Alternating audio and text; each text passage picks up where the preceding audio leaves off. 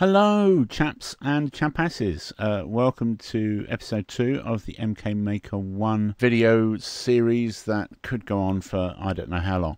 It's obviously a work in progress. What I'd like to do is just cover some of the things that may not have been very clear last time.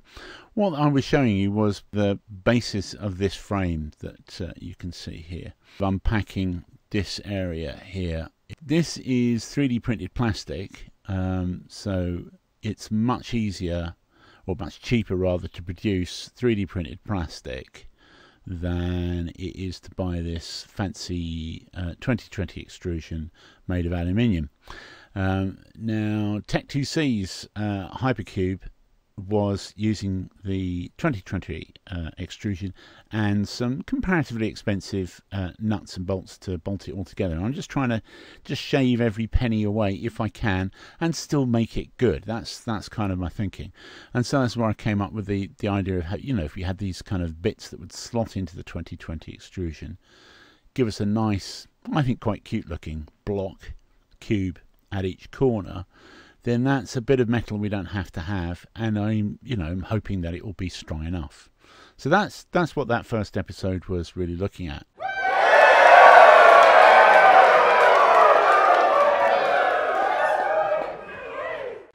So what I'd like to cover in this episode is so why are we actually bothering to design yet another 3D printer? Does the world need another 3D printer? Hasn't it all been done before? And to a certain extent, yes. So certainly, um, this isn't going to be as cheap as some cheap options out there. You can get a kit from China and build yourself a 3D printer, and away you go.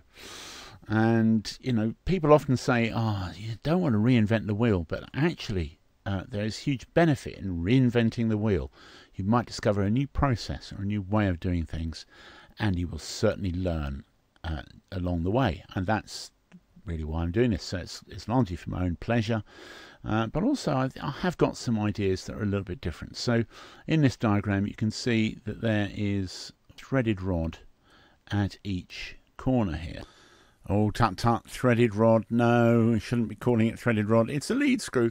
Um, although in my case it would probably be threaded rod just to keep things cheap.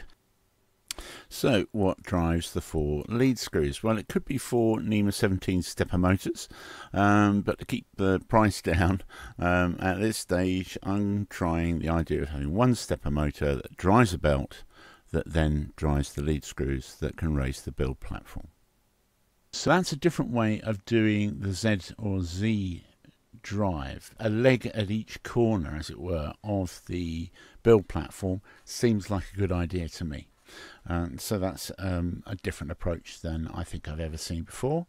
Um, maybe it'll have problems, but I think that there will be some advantages uh, in leveling. So, for instance, obviously, if you were able to raise this corner and this corner at the same time, it would tilt it towards the front.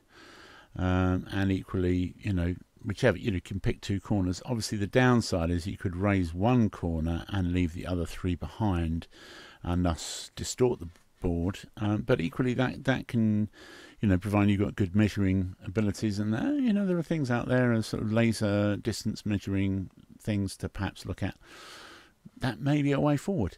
And by the way, if you're an Onshape designer and you want to get involved, that's fantastic. I'll share the uh, plans with you and get involved. You know, come up with new designs, tweak it, fiddle with it, come up with suggestions. Um, you know, very much want this to be interactive, and you you get stuck in. You tell me what you think works, what you tell me, and tell me what you think doesn't work, and tell me I'm an idiot to my face and tell me why. That's always the thing. Tell me why, and then I can perhaps deal with it. So that's where my thinking is at the moment. I have actually moved on with the frame, um, and more of that in an episode coming soon.